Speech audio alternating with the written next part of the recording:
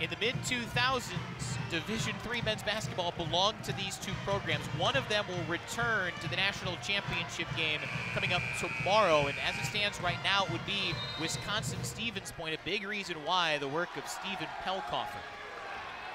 Yeah, Pelkoffer is certainly shooting well this second half. Buried that three on Montgomery to help kind of just keep the Marlins at bay at this point in time. Montgomery has it for the Marlins. What a oh. spin and a score.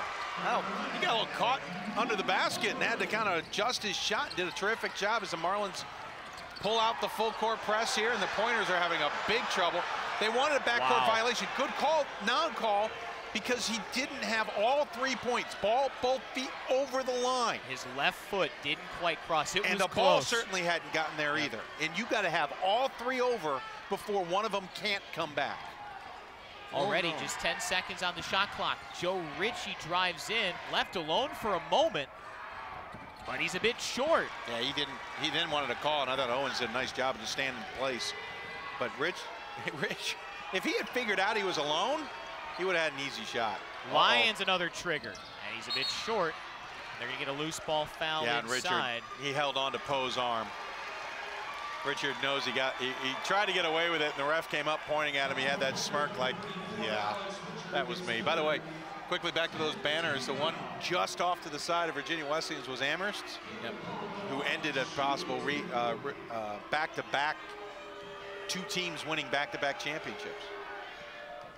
Richard's third foul. It's the 10th on the pointers. Thus, two shots for Poe, who can't connect on the first. He is a 47% shooter. Yeah, he's, he's not comfortable at the line. And you can tell. I mean, he takes his time. He's, he's thinking about it. There's nothing natural for him at the line, but he certainly took less time that time and buried it. Pressure a bit more lax this time from the Marlins. I think they want to maybe turn it on, turn it off, kind of catch the pointers off guard. And sometimes off a free throw, a lot of coaches will turn off that press. They'd rather do it off a made basket. Still time for the Marlins, but they need stops. Winner will play Augustana coming up tomorrow at 3 o'clock. Eight on the timer. Richie got free, but he can't connect on the layup. Marlins want to push. Montgomery to the oh. rack, and he misses the one-handed jam and it goes back to the pointers. What a turn of events for Montgomery. And Montgomery bends over in, in frustration. That was an excellent opportunity, but he was just too far from the rim. The pressure almost caused a turnover. Looked like it was last touched by Cam Owens. Do you like to have a player in your lap? Because that nearly happened too. Holy cow. 6'5", 195, barreling at us. He would have had the advantage you think? Yeah. We, we can't move. Another dangerous pass from Wisconsin Stevens Point. They're, they're in a little Almost bit to travel, here. too. Yeah. And Macedo wanted it. And a rip away. Corey Moore. A lot of contact, but no call, and the Pointers emerge with the basketball. Now a call on Owens, and now the Marlins fans are losing their minds. I, Owens discussing it with the referee. Stay composed here. I'm not I'm not sure if there was necessarily a foul on the Corey Moore considering what refs have been calling and not calling all game. Dave Macedo's certainly got his money's worth over the last few minutes. There wasn't a whole lot no, of contact no, there, though. No, that was, that was more Corey Moore just trying to get a call out of that one. And in that case, I think Owens has to foul. It sounds crazy, but you don't want to let them get into the front court yep. and bleed the clock. And it was his fifth, thus the brief stoppage. Owens will have to come out, finishes with six points and a board and assist. He was just two of seven from the field tonight. Take a moment to say I'd like to see this rule change. I don't think there needs to be time when there's a fifth foul. You know there's a fifth foul. Everybody on that bench knows there's a fifth foul. They know who's got four out there. You got to get rid of this extra timeout. So Austin Ryf will go to the free throw line, one of three pointers in double figures. Wisconsin Stevens Point, 10 of 12 there tonight. Make it 11 of 13.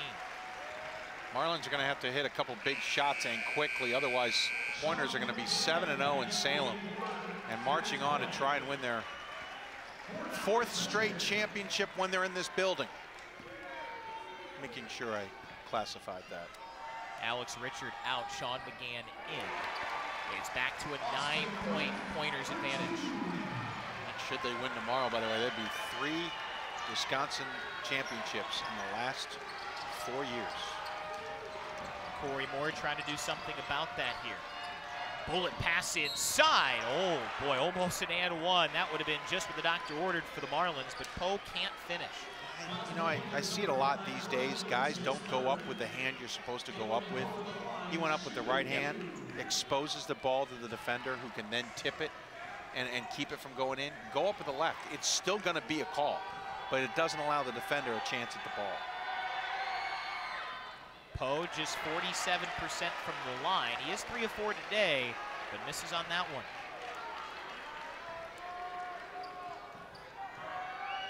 Craig Macedo still patrolling the sideline. This time after the free throw, full court pressure. Oh, that's simply because they've got a whole no lot choice. of time left. Yeah, they've got no choice here. Defense Going to a small, fast switch. lineup here. Yep. Alex Richard in, Sean McGann out. You'll see that a lot seesawing down the stretch. Final minute plus. Of course, Poe's got four fouls out there. She's nearly cost it up again. Don't want to be in that spot. This is a must stop, or actually they will foul after the pressure was broken. Yeah, so once they they bled about before- 15 seconds off the clock there. In an eight-point game, you need to try to stop the clock as much as possible and preserve that ever-precious time. Pretty much not talked about this man the second half. He missed his first two three-pointers back iron. And being the smart player that he is, turned off his offense to make sure it's the rest of his team. Instead of, you know, hurting them from the field. He felt he was off, so he turned it back to his teammates. Case in point, Pointers have four men with nine or more points. That's their game, and they're up by 10 here. And they're smart enough to know who's who's good at any moment on the court. Can't waste time here. Desperation three is off the mark, and it's last touched by Stephen Pelkoffer. Greg Montgomery was right there, too. Yeah, I was going to say, I thought that went off of Montgomery, especially the way he brought his hands down. Ooh, not me. Montgomery has it. Good And job. that'll be two shots coming up. Good job of just changing pace there and getting the defender back on his heels. Montgomery, who's a T or who's a 67% free throw shooter, will go to the line. Have to make both of these if the Marlins want to stay in this. One of the top offensive rebounding players in the NCAA, by the way. As McGann will check out, back into the game has been, I think, probably the the story for the Pointers today in, in Richard. It's been phenomenal. Poe had a chance at the board, gets another opportunity and lays it home. Fortunate bounce for the Marlins, it turned out to be a three-point trip. Not a whole lot of time expired there. Yeah, Montgomery, when he let go of it, it felt, it looked short. It ended up short, hit Poe, then went back to Montgomery, went back to Poe, who caught the defense, who didn't think they were going to be on defense at that moment, not knowing where the ball was, was able to slice the lane and put in the layup. So now it's a seven-point deficit with 40 seconds left. That's a big swing. Do you try to pressure, or do you immediately foul if you're Virginia I think you got to pressure. Uh, and Marlins can do it well. They've been close a You, few you times only today. will lose max 10 seconds if you can get them into a backcourt violation, leaving 30 seconds on the clock. I don't think you do anything but pressure. But the moment they get it across midcourt, you got to foul.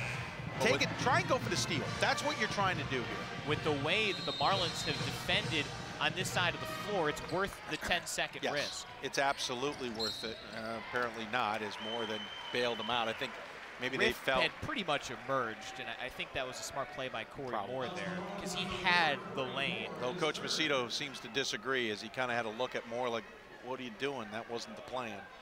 But instead of 10 seconds coming off the clock, just about four came off the clock. But it puts Ryf to the line where he sank the last two. Maybe extend this to a three-point or three full three-possession game. Perfect seven of seven at the line for Ryf, who leads all scorers with 20. And that offense-defense switch continues to ebb and flow as Sean McGann comes in. Ryf, one of the second best free throw shooter on the team by a couple tenth, well, by a tenth of a point. Tim Jones has it for the Marlins. Moore Wow. lost the handle. Ryf has it. Pointers in control, and they need to foul. I think that might do it. I think the Marlins realize there's just nothing they can do at nine points. Wisconsin Stevens Point now 7 and 0 in either the Final Four or the national championship game. They can become the fourth team in Division Three men's hoops to win their fourth title tomorrow against Augustana at 3 o'clock. 68-59 the final score. Two giants at this level of college basketball duked out in a doozy. And it's Wisconsin Stevens Point emerging on top. One whale of a contest. Absolutely terrific. Lived up right to the billing. You knew this was going to be a defensive struggle.